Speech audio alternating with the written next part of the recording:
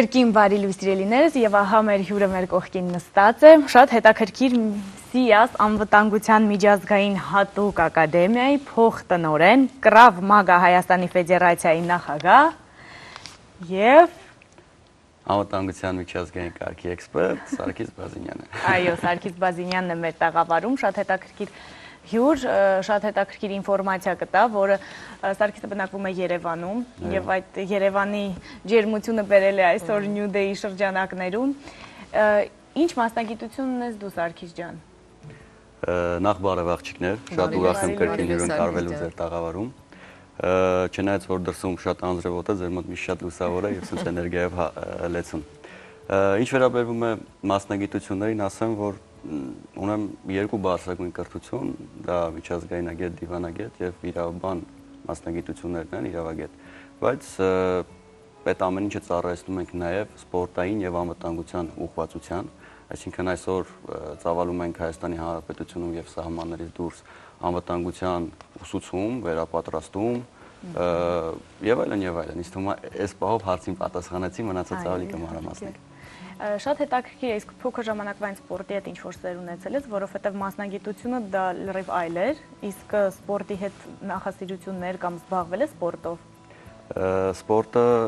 իմ կյանքի անբաժանելի մասն է կազմում, սկսած 4 տարեկանից զբաղվում եմ տարատեսակ արտարվեստներով, սպորտաձևերով, մինչ օրս եւ առանց սպորտի իմ կյանքը չեմ պատկերացնում իհարկե։ Դե հիմքը սպորտն է, որ այսօր զբաղվում է այն գործով, ինչի մասին արդեն խոսեցինք, հետաքրքիր է։ Այ օրեր առաջ դու իմ ու Գևորգի հյուրն էիր, Սարգիս, բավական հետաքրքիր է, այսպես ինֆորմացիա տվեցիր, թե դու ինչով ես ըստ էության զբաղվում։ Այ գործը այնքանով է հետաքրքիր, որ մարդկանց անվտանգության մասին եք մտածում։ Հիմքը մեխը անվտանգությունն է բայց այ լինում է այնպես նաև որ անվտանգությունը ծառայում է նաև ոչ հոգուց սովորական մարդկանց ու ժողովրդի խորքային է հարցս։ Այ մարտյան դեպքեր եղան տարիներ առաջ։ Նույն անվտանգության, ես չեմ ուզում հիմա սուր այսպես հարցեր տալ քեզ դնել փակուղու մեջ, ամենևին այդ հավակնությունը չունեմ, բայց արդյոք այն նմանատիպ դեպքերի ծայրահեղ իրավիճակների դեպքում անվտանգության աշխատողները հիմնականում ժողովրդի կողքին չէ որ պիտի կանգնեն։ Ըստ էության լինում է այնպես, որ անվտանգության աշխատողը դեմ հանդիման է գնում ժողովրդին։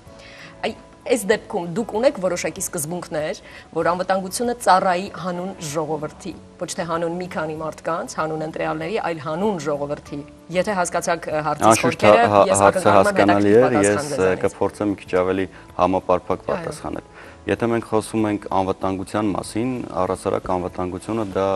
լայն հասկացողություն է եւ իր մեջ ներառում է տարբեր փուլեր։ Եթե մենք խոսում ենք ազգային անվտանգության մասին, դա այլ է, եթե մենք խոսում ենք անձնական անվտանգության մասին, դա այլ է եւ այլն եւ այլն։ Նշեցիք ապրիլ մարտյան դեպքերը, ասեմ, որ ցանկացած անվտանգության աշխատակից, երբ որ անցնում է ծառայության, նա երթում է տալիս ծառայել իր բարության, իր երկրի, իր ժողովրդի։ Այս պարագայում ես չեմ ուզում քննարկել կատարվածի վերաբերյալ հա այդ մանրամասները, բայց ամեն դեպքում դա դրանից հետո եղան քննություններ, դրանից հետո մինչ օրս վարվում վարույթ կա եւ այլն եւ այլն, բայց այս պարագայում ասեմ որ եթե մենք խոսում ենք շարքային անվտանգության աշխատակիցների մասին, որպես կանոն նրանք ինքնուրույն այդ պարագայում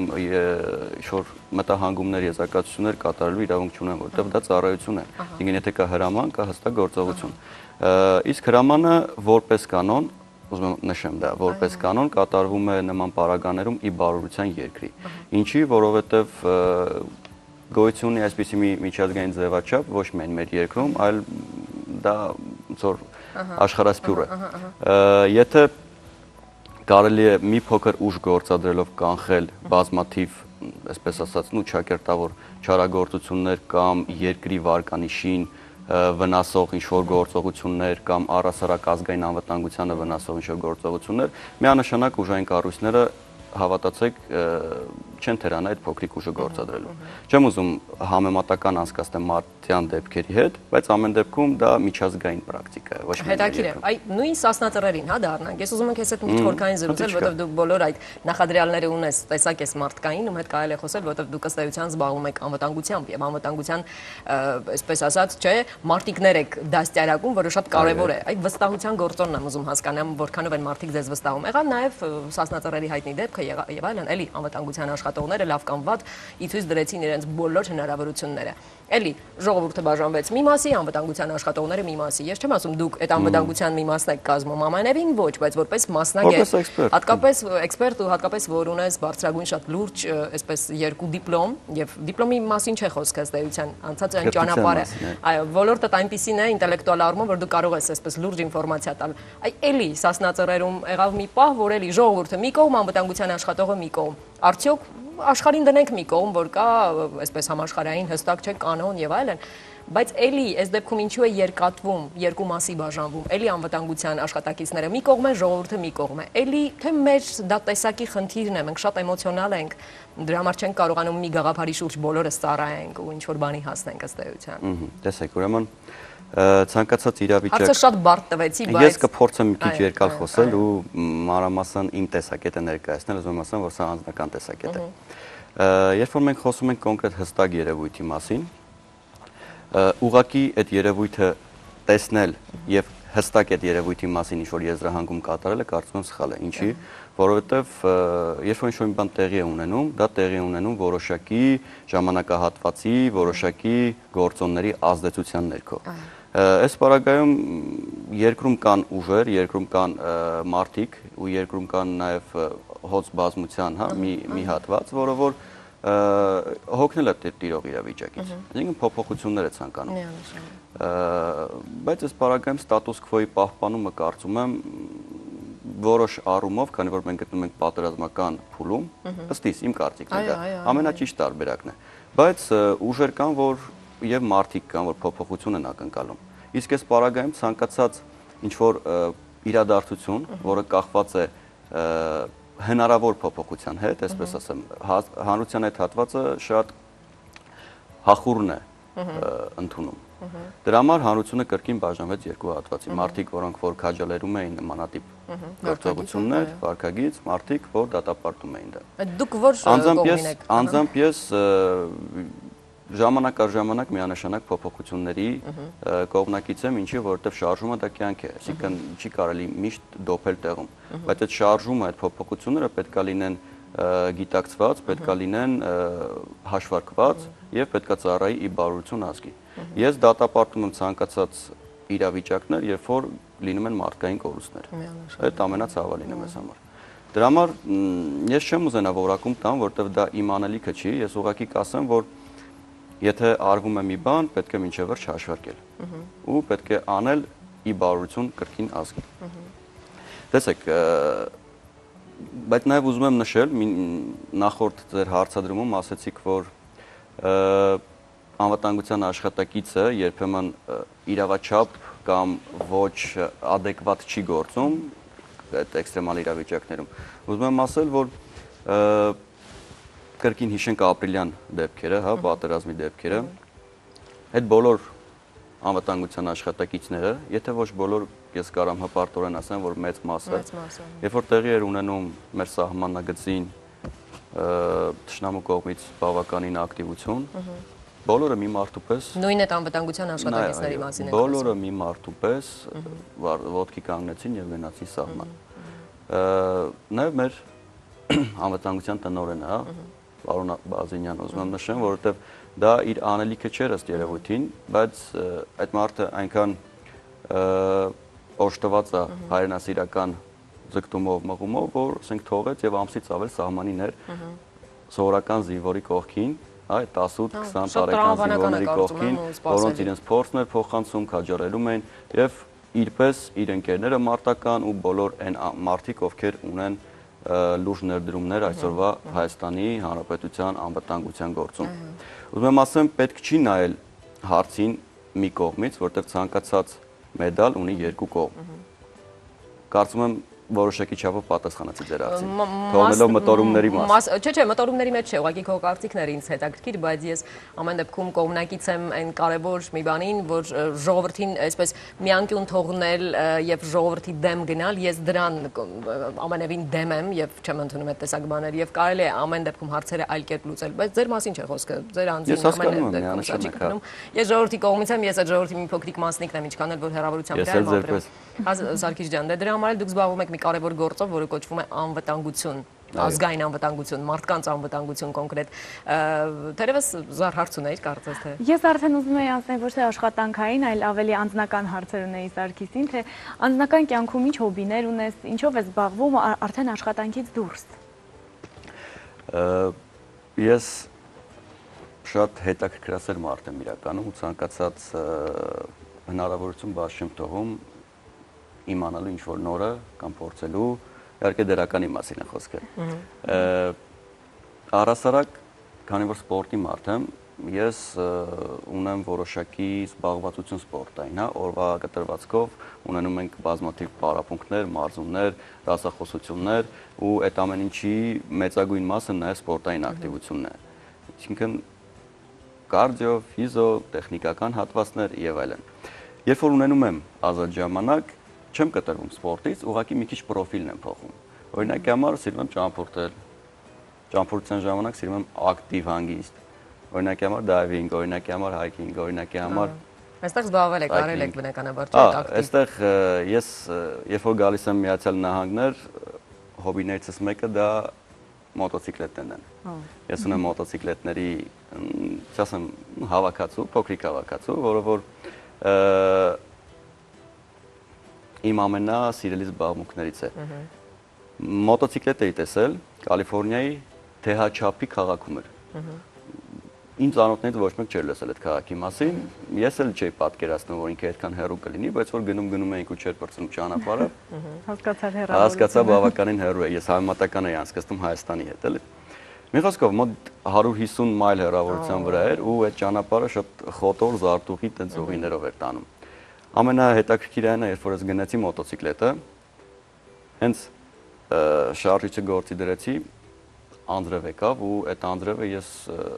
շատ մեղմ եմ ասում։ Մոտոցիկլով եք գնացել այդ հեռու Չէ, ես մեքենայով գնացել եմ, մոտոցիկլետով վերադարձել եմ։ Օ, այնտեղից գնել ես։ Ու մոտարապես 150 մայլ այդ ֆրիվեյներով, այդ զարտուղի ճանապարհներով, անձրևի սելավի տակ այդ մոտոն տեղասրեցի։ բայց վտանգավոր է։ Բազմաթիվ բազմաթիվ, բազմաթիվ փորձություններ հաղթահարեցինք, բայց իրականում ինձ դա տվեց մեծ շատ հետաքրքիր փորձ ու նաև ինձ անընդհատ հորդորում էին արի մի քշի, արի թոտրակ կանչեն, կգա կտանի եւ այլն, բայց դա էլ արդեն մի քիչ սպորտային սպորտային հոգեբանություն է, այսինքն երբ որ սովորական մարդու հոգեբանությունը մի քիչ տարբերվում է սպորտային հոգեբանությունից։ Ինչի, այսինքն չեմպիոնին առանձնացնում է այն միտքը, որ եթե նա նպատակ է դրել իր արջև, նա ամեն գնով պետք է, իհարկե բանականի մոտ ամեն գնով պետք է հասնի այդ նպատակին։ Այսինքն ես բերեցի, բարով խերով հասցրեցի։ Այդքան նպատակասլացես։ հա, Եվ դրանից հետո մի շատ շատ հետաքրքիր զգացողություն Մոտոնուր է հասնելու մոտոցիկլը Հայաստան թե կմնա այստեղ։ Չէ, Հայաստան։ Հայաստան կհասնի ինքը։ Իսկ Հայաստանում որ որտեղ ես այդպես կարողանում էքստրիմով զբաղվել մոտոցիկլով։ Հայաստանում կամերաները այնքան շատ են փողոցներում դրած, որ Դե Հայաստանում ապրելը ինքնին էքստրեմի տեսակ է, լավ իմաստով։ Ես շատ եմ սիրում իմ երկիր իրականում ու չեմ հասկանում այն մարդկանց, որոնք որ գալով արտասահման այս պարագայում միացյալ նահանգներ, որ ու մեղմ ասած շատ բացասական են արտահայտվում այդ երկրի համար անկեղծ չեմ հասկանում, որովհետև մեր երկիրը իրականում շատ լավ երկիր է, մեր ժողովուրդը շատ լավ ժողովուրդ է։ Մենք ունենք այն բոլոր նախադրյալները լինելու երջանիկ, նաև լինելու տարածաշրջանում շատ լավ մակարդակի վրա, այ որքանով է օգտագործում այդ պոտենցիալը, դա արդեն մի այլ հարց է։ Մենք խոսենք գովազդից հետո, այ շատ լավ դու դու շատ լավ կարևոր հիմա հարց արդեն դրեցիր հիմքում, այ կխոսենք այս թեմայի շարունակությունը գովազդից հետո կլինի։ Գովազդ կհանդիպենք, մնացեք մեզ հետ։ Այ Սարգիս ջան, քիչ առաջ շատ հետաքրիր մի կարևոր բան ասացիր Հայաստանի մասին, Հայաստանի կարևորության ու դա այն երկիրն է, հայ ժողովրդային ժողովուրդն է, որ պիտի երջանիկ ապրի եւ արժանի է երջանիկ լինելու, լավը լինելու մեր երկիրը։ Ու լուրջ մարտահրավեր կարող ենք չէ՞ նաեւ ներկայացնել, թեկուզ որ փոքր է մեր տարածքը։ Այդ դրա մեկնաբանությունն է, ինչպիսին էր լինելու, որ ասացի գովազդից հետո մենք ավելի մանրամաս ենք խոսենք այդ թեմայի մասին։ Հետո արդեն կգանք երկրի անվտանգությանը, որը շատ լուրջ, այսպես բան ունի, չէ՞։ Առաջխաղացում ունի, туриզմի առումով նաեւ։ Այսօր երկիրը գնալով դառնում է տուրիստական։ Այսինքն ստեղծվում են նախապայմաններ այդ ամեն ինչը զարգացնելու համար։ Ինչ վերաբերվում է ժողովրդին, ժողովուրդը ունի մեծ պոտենցիալ ու բայց ունենք մի փոքրիկ խնդիր, դա իմ անձնական տեսակետն է։ Այդ խնդիրը խանգարում է մեզ կատարյալ երջանիկ լինելու համար։ Տեսեք, փորձեմ մի քիչ ավելի հետաքրքիր ներկայացնել։ Հիշենք մեր հանճարներին, հա, օրինակի համար ձեր նախորդ հյուրը նշեց Արոնյանին։ Հիշենք մեր Ալեքսանյան Արտուրին, Արսեն Ջուլֆալակյանին, մեր լավ ընկեր։ Հիշենք անուններ շատ կան, Հենիկ Մխիթարյանին եւ այլն եւ այլն։ Բայց բոլորը կարծես թե անհատներ են, չէ, իրենց մրցակցային ձևով եւ այլն եւ այլն։ Այսինքն մենք որպես խոսքը կապում եմ սպորտի հետ, ինդիվիդուալ սպորտաձևերում կարելի ասել շատ բարձունքներ ենք հասնում։ Բայց թիմային թիմային մրցակցություն չեն կարողանում ցուցաբերել։ Ինչի? Չեմ ուզում ասեմ ինչի։ Այ երբ որ մենք կարողանանք բոլորս միասին մեկ թիմում աշխատել, դա նաև վերաբերվում է երկրին։ Այսինքն երբ որ ժողովուրդը կարողանա մեկ թիմում աշխատի, ես վստահ եմ մեր երկիրը կբարձրանա այնպիսի բարձունքների, որ երբևէ չի եղել։ Դա լուրջ թիմակիցները պետք է տան այդ հնարավորությունը, որ սովորական Դա արդեն երկրորդ հարցն է։ Դա արդեն երկրորդ հարցն է։ Բայց միանշանակ թիմային աշխատանքը կբերի ծաղկման եւ զարգացման։ Դե այսպեսի բան են, չէ՞, ասում ասում յուրաքանչյուր հայի, որ հարցնես կարող ես լինել երկրի նախագահ, այո, կարող եմ իհարկե։ Հենց այդ անհատական մոտեցումն է, որ յուրաքանչյուրը իրենից ինչ որ անհատականություն ներկայացնում է, չէ՞, չի սիրում ինչ որ այսպես հոտի յետևից գնալու այսպես բան չունենք, չէ՞, ամեն մեկը ասում ես, ես, այստեղ Բայց հենց դա է կարծում եմ հայի հենց այդ խորությունը, դե որը հայը որ մենք այո, միայն անհատական թեկուս սպորտազավերի մասով, եթե խոսենք անհատական այսպես Հայը միշտ պրպտող է, միշտ իր հնարավորությունների սահմանագծից քայլ առաջանող տեսակ է։ Երբեք չի կորի ոչ միտեղ։ Է, աստվածավոր մենք լինենք ու միշտ լինելու ենք։ Այ իսկապես туриզմի առումով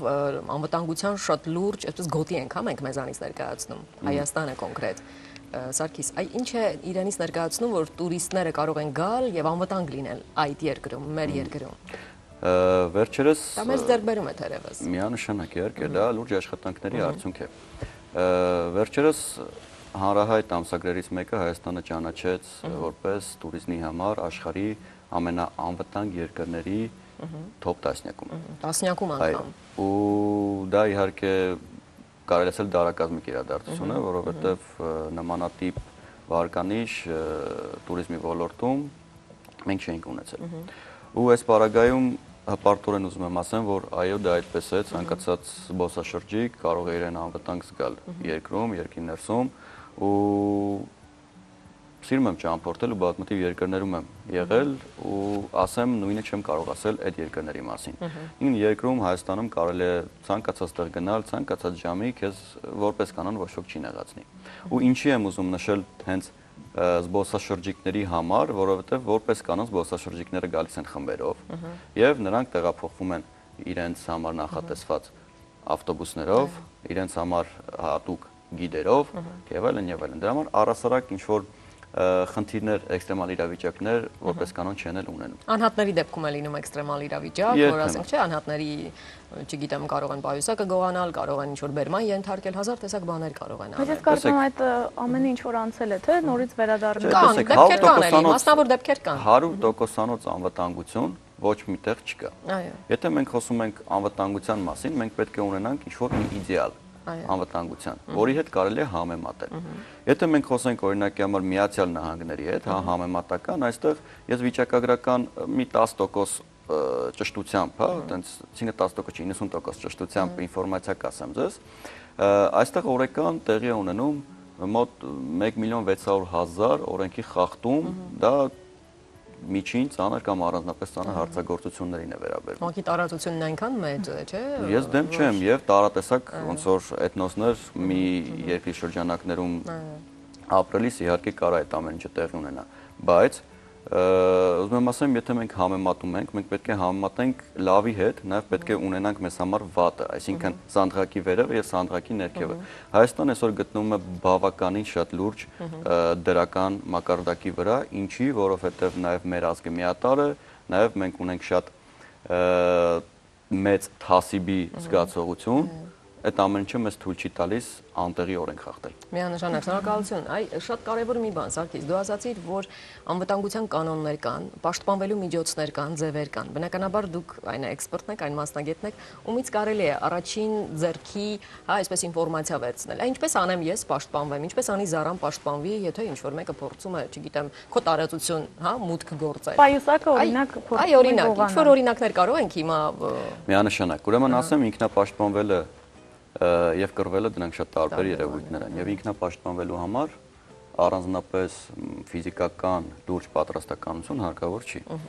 Հարկավոր է ուղղակի իմանալ ինչ անել եւ օրգանիզմը եւ հոգեվիճակը պատրաստ լինի դա իրականացնելու։ Ռեակցիանը երևի պիտի լինի։ Տեսեք, ռեակցիան ինքը մի քիչ այլ երևույթ է։ Ցանկացած էքստրեմալ իրավիճակ, տեսեք, ես sense մի հատ Այ օրինակ է։ Իրավիճակ ձեզ ներկայացնեմ։ Հիմա ես ձեզ ասում եմ, չէ, ես ձեր ձեռքը վերցնում եմ եւ քաշում եմ։ Դուք դա տեսնում եք, դուք դա հասկանում եք, դուք հիմա հանգիստ հոգեվիճակի մեջ եք։ Բայց այդ հիմա ոնց արագանամ, տեսեք ոնց խառնվեցի։ Ահա։ Չխառնվելու համար Այո։ Ինչ անել։ որոշակի աշխատանքներ կան, որ տարվում են։ Ուշադիր եք սիրելի հստակ։ Եթե մենք համեմատենք սպորտը, մարտարվեստը կրավմագա ինքնապաշտպանության համակարգի հետ, ես կասեմ, որ այսօրվա կյանքում մարտարվեստը, եթե դու ուղակի զբաղվում ես քո անձնական անվտանգության համար, շատ-շատ զիջում է համակարգին։ Ինչի, որտեվ համակարգը մի քանի ուղությամբ, մի քանի փուլով է քեզ միանգամից զարգացնում։ Առաջինը դա ֆիզիկական պատրաստվածությունն է, այսինքն քո օրգանիզմը պետք է իմանա ինչ անի այդ էքստրեմալ իրավիճակում։ Այո, խառնվել պետք չի։ Ինքն նա պետք է պատրաստ լինի, մկանային համակարգը պետք է պատրաստ լինի գործողություն կատարելու։ Երկրորդը դա հոգեբանական, հոգեկան, հա, պատրաստվածությունն է։ Ինչա դա նշանակում։ Այսինքն պարապմունքների ժամանակ մենք օրգանիզմը սարքում ենք ստրեսադիմացկուն։ Ցանկացած էքսեմալ իրավիճակում տեղի են ունենում հոգեբանական փոփոխություններ։ Սա եւ կանանց է վերաբերվում եւ տղամարդկանց բոլորին մենք չենք բաժանում ինքնապաշտպանությունը սեռերի միջև։ Այո, այո, հետաքրքիր։ Տեսեք, երբ որ հարցակում է տեղ ունենում, ցանկացած օրգանիզմ ինքը յուրովի է արձագանքում այդ այդ էքստրեմալ իրավիճակին։ Օրգանիզմ կա, որ կարող է խոճապի մատնվել, օրգանիզմ կա կարող է ընկնի հոգեբանական արքելափակման մեջ։ Դա այսինքն ոչ մի ինչ որ հստակ գործողություններ չանելն է, այսինքն ոնց ապշահար կանգնած մնում ես մինչև էքստրեմալ իրավիճակը ավարտվի։ Լավ, եթե པարզ ու հասկանալի է գնալ ուշագնալ, լինել ուշագնաց։ Եթե մենք կրավմագայի մեջ չենք։ Տեսեք, տեսեք, տեսեք։ Չունենք այդ հնարավորությունը դες այդ ամենօրյա շփման։ Ես դեմ չեմ, պետք չի մեզ այդ ամենը շփվել, բայց երբեմն որոշակի գիտելիքներ անձնական ամբողջական համար պետք է։ Այս պարագայում պետք է զարգացնել ստրեսադիմացկունություն։ Հիմա եթե ես հարցակվեմ ձեզ վրա, օրինակի համար եմ ասում, ես երբեք բան չեմ անում։ Պատրաստ բնականաբար օրինակ։ Դուք չգիտեք ձեզ ոնց կդրսևորեք։ Ճիշտ է։ Իսկ երբ որ մարզման ընթացքում մարզումը լինում է իրական մարտական իրավիճակների մոտ, մի քանի անգամ դա տեղի ունենում, դուք ստրեսադիմացկուն եք դառնում։ Դա կարա լինի տաղավարում, դա կարա լինի մեքենա մոտենալիս, դա կարա լինի հասարակական ինչ-որ վայրում, դայական չի։ Դուք դառնում եք ստրեսադիմացկուն։ Այ երրորդ ուղղությունը դա տեխնիկական պատրաստվածություն։ Այսինքն ես ձեզ տալիս եմ գործիք, այդ գործիքով դուք պաշտպանվում եք։ Ցանկացած հնար կրամագայում դա համարվում է գործիք։ Ի բարօրություն ձեր անվտանգության Որն է այդ գործիքը, Սարգիս։ Դրանք շատ տարբեր գործիքներ են։ Տեսեք, եկեք մի հատ դիտարկենք իրավիճակ։ Ես տղամարդը ֆիզիոլոգիապես կնոջից որպես կանոն ուշեղ է։ Չնայած կան եւ հակառակ երևույթներ։ Ռանդան օրինակ այստեղ։ Հիշենք ռանդան։ Երբ որ քաշում եմ, ի՞նչ է տեղի ունենում։ Ես իմ ֆիզիկական ուժով ձեզ կարամ քաշեմ տանեմ այստեղից։ Վստահ եմ։ Ահա, հետաքրքիր է։ ինչ պետք է անեք։ Դուք պետք է իրավիճակը արագ անալիզ անեք եւ Վարկյանական ճիշտ գործիք։ Ինչա կարելի անել այդ իրավիճակում։ Տեսեք, այս պարագայում դուք ունեք բա- բավականին ճակերտավոր զենքեր ձեր օգտագործման տիրույթում։ Ինչ կարելի անել, խնդրում սա վերցնեք։ Ես երբ որ բռնել եմ։ Ու տեսեք, այստեղ մանր ոսկորիկներ կան։ Ահա։ Այսպես բռնեք։ Ինչ հետաքրքիր։ Շատ ուժեղ չէ, բայց մի հատ հարվածեք։ Խփեք։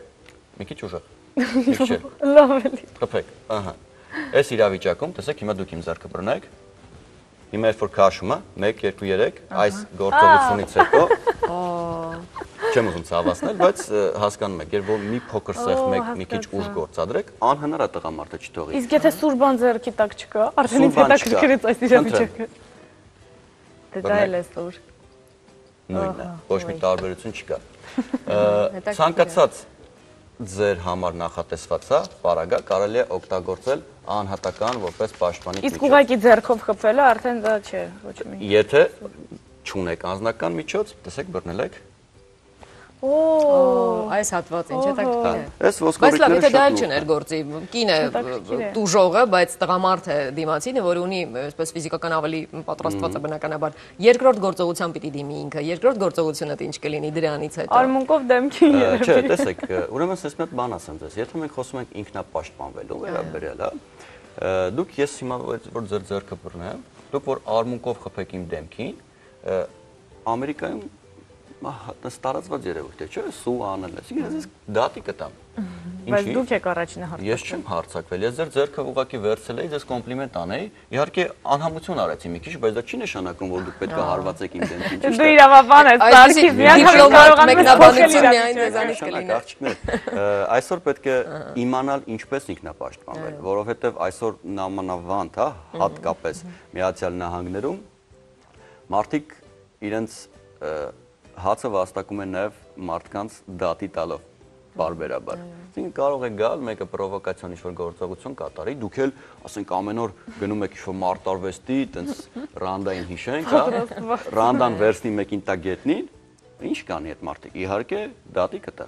Ու բավականին մեծ մեծ մեծ գումարներ կփոկի այդ մարդուց, ժամանակ, նյարդեր եւ այլն եւ այլն։ Այսինքն պետք է իմանալ ուղղակի ինչ անել, որպիսի այդ ամենից խուսափել։ Ու երբ որ դուք ազատվեցիք ինձնից,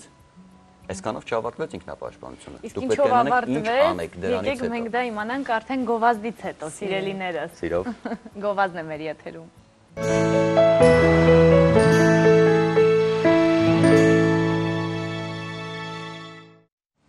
Մենք կրկին տաղավարում ենք Նյուդեի օրն է շարունակվում եւ մենք կանգ առանք այնտեղ, որտեղ դու ասում ես, թե ինչպես կարելի է պաշտպանվել Սարգիս ջան։ Ամենահետաքրքիր մասում մեզ գովազդեր եթերում կարող ենք շարունակել։ Այ երբ որ հարցակում է տեղի ունենում, երբ որ դու պայուսակդ են ուզում վերցնեն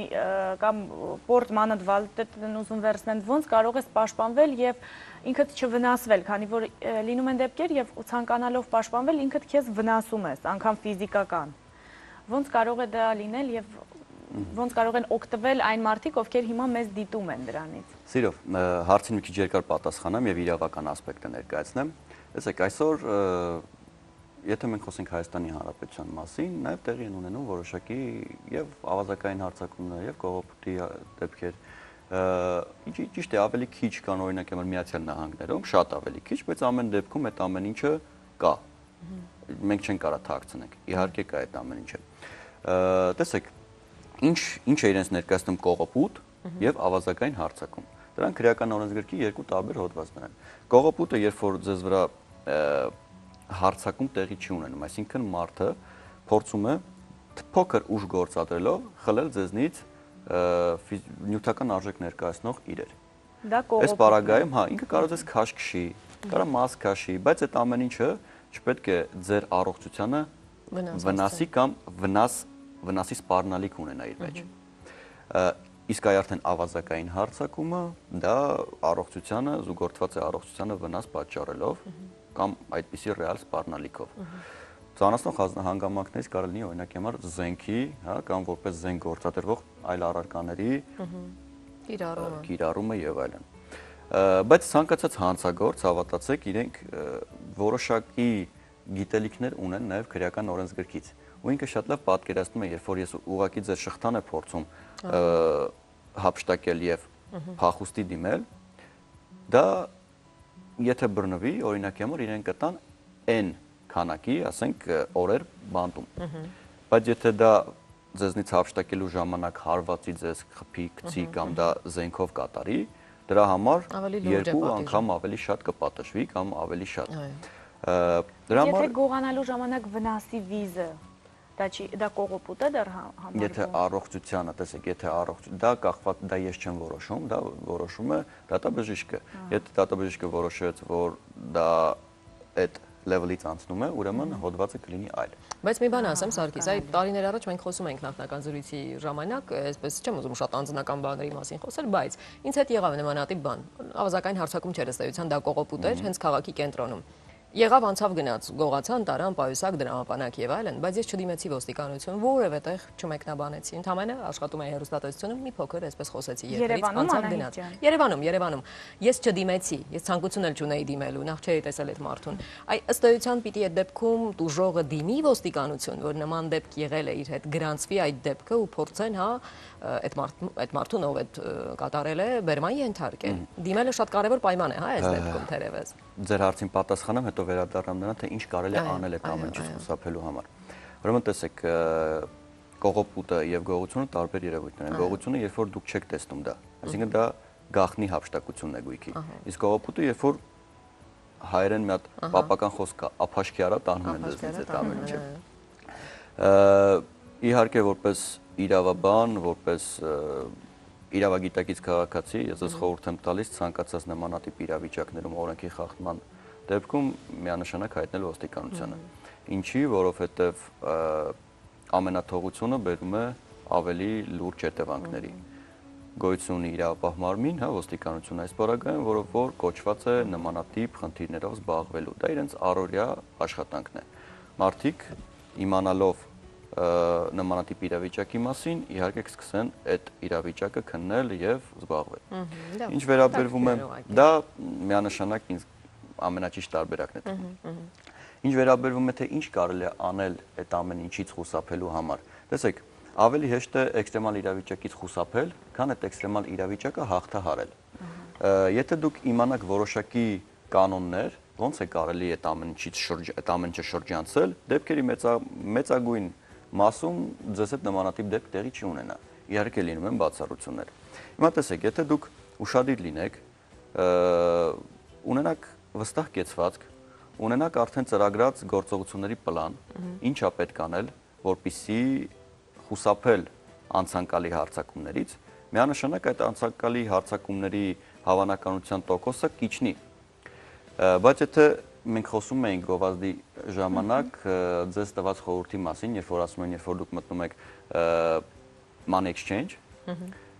դուք գումարով դուրս մի եկեք, հետո հաշվեք, հետո դրեք պայուսակը եւ հեռացեք։ Ինչի։ Դա շատ Երևանում հավելյալ պրովոկացիա է, հավելյալ պրովոկացիա է, ինչի, որտեվ երբ որ մարդը ինքը պոտենցիալ պոտենցիալ հանցագործ է, ունի հանցագործի հոգեբանություն։ Դու այդ շանսը տալիս ես։ Միանշանակ։ Նա տեսնում է, որ կոնկրետ այդ գեղեցիկ աղջկա մոտ, որը որ, որ թվում են նաև թույլ իրենից, հա, ֆիզիկապես կա նշան են տալիս ավելի մեծ քանակությամբ գումար, որը որ հեշտ հասանելի է իրեն։ Ինքը պետք է ուղղակի այդ պայուսակը խլի ձեզնից եւ փախնի։ Դա պրովոկացիա է։ Այդ նա միանշանակ դա կանի։ Դրա համար պետք է հաշվել ներսում, փակել ու ցանկալի է սпасել եւս մի մարդու, որը որ կմտնի, այդ մարդու հետ դուրս գաք։ Ինչի՞, շեղելու համար եւ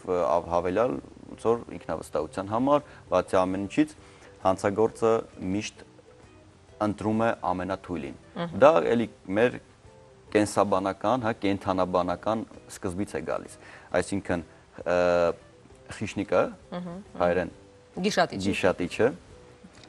միշտ ընտրում է ամենաթույլին։ Հոտից, օրինակ համար, հա, գայլերը կամ առյուծը հոտից ընտրում են ամենաթույլ հիվանդ արարածին։ Քանի որ մարդը հոտը չի զգում, մարդը տեսնում է, կեցվածքն է այս դեպքում կարևոր ինքնավստահեցվածքը, ինքնավստահությունը, նրա ֆիզիկական տվյալները, նրա երերուն աչքեր, այսինքն այլայլված է այդ մարդը ուր է գնում, այսինքն ունի հստակգործողություններ ծրագիր։ Սա փանցքով գնում ես։ Կասկածելի մարդիկ են ամենատարբեր, ինչպես դու քիչ առաջ ասացիր, այստեղ ապրում են էթնիկ խմբեր ամենատարբեր, չէ՞, խառնարանը տարբեր ազգերի։ Նրբանցք է, այնտեղ որտեղ պիտի հասնես, այսպես մութ է, ժամն էլ ուշ է, երեկո է, օրինակ։ Տղաների խումբ է, բայց դու պիտի այդտեղով անցնես, այլ ելք չունես, մեքենա տալ տեղ է կանգնած։ Այս դեպքում կասկածելի են այդ մարդիկ էլ թվում ներքին վախ բնականաբար յուրաքանչյուր կին կապրի ինչ անել։ Էլի այս դեպքում ինքնավստահ կեցվածք, հա, Էլի այս դեպքում ուղակի սառը այսպես հայացքով դու քո գործը անում ես, գնում ես, քայլում ես առաջ, առանց վախվորելու, հա, թերևս։ Էլի հասկացա։ Ուրեմն տեսեք, ցանկացած կին օժտված է նաև ներքին, չէ, ինչ որ զգայարանով, 7-րդ զգայարան ենք ասում դա։ Ինտուիցիա։ Ինտուիցիա։ Եթե դուք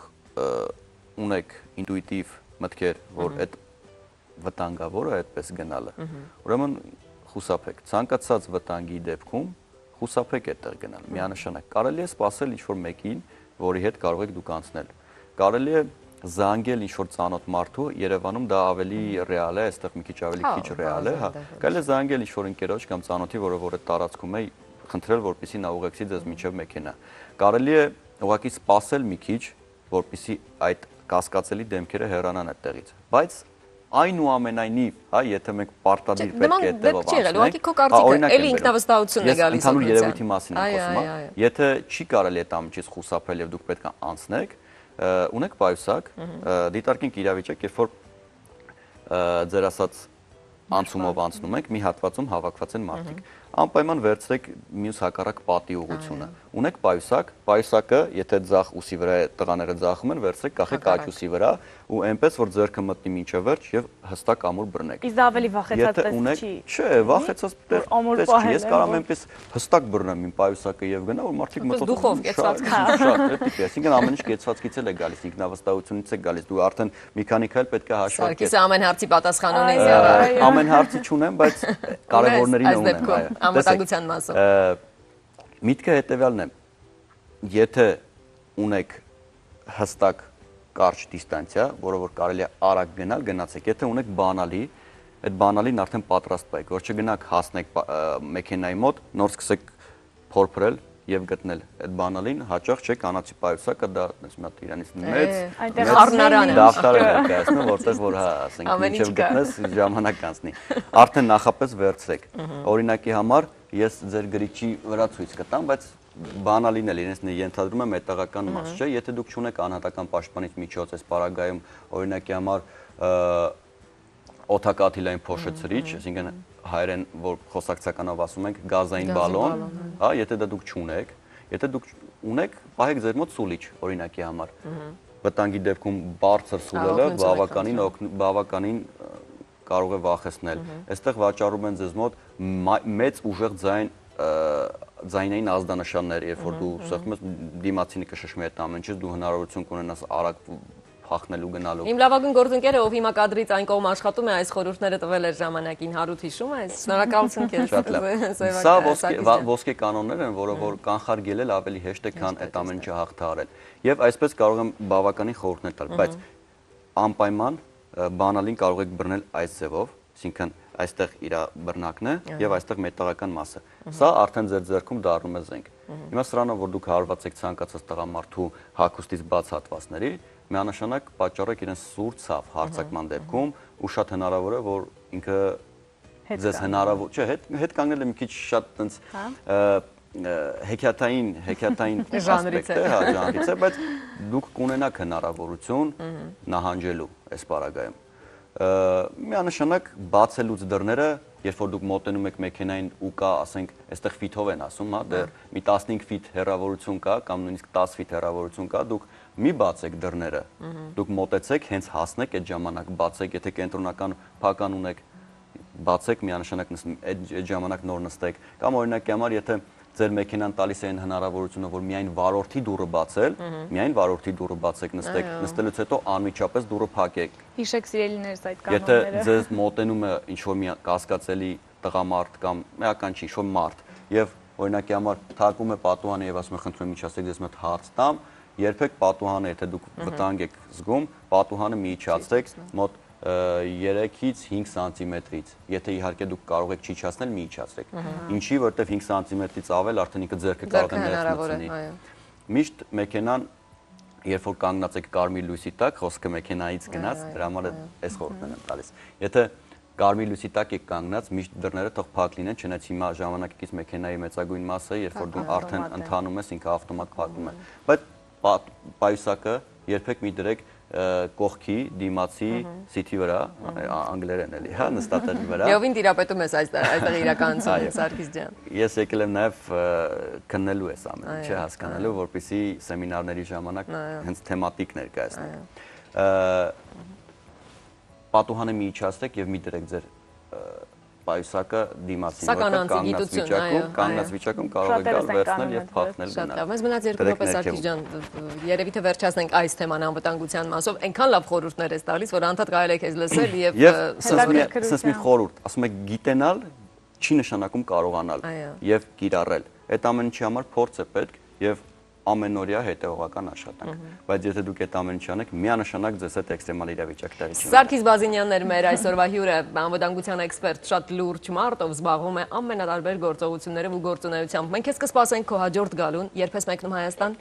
Վաղը Երանի քո աչքերին։ Երանի քո աչքերին։ Գնա վայելի ձմեռը քեզ ամենալավն ու բարին ու բարի ճանապարհ, բարի թեթև թռիչք Սարգիս ջան։ Եթե ավելացնելու բան կա, արագ ծրագրի ցանկանում եմ բոլորիդ առողջ եւ անվտանգ կյանք կհանդիպենք մյուս անգամ ձեր եթերում։ Սիրով, շնորհակալություն հաջողություն Սարգիս ջան։ Իսկ այսօրվա համար այսքանը միշտ լավ եղեք եւ վայելեք ձեր հանգիստը։ Իսկ ERT-ն շանթարոստանգերությունը ձեզ համար է դիտեք մեզ։ Իսկ վաղ երեկոյան ժամը 7:30-ին արդեն ERT-ն թատերասրահում եկեք միասին դիտենք կյանքու կռիվը։ Հաջողություն ձեզ սիրելիներս։ Հաջողություն։ Տեսություն։ Thank you.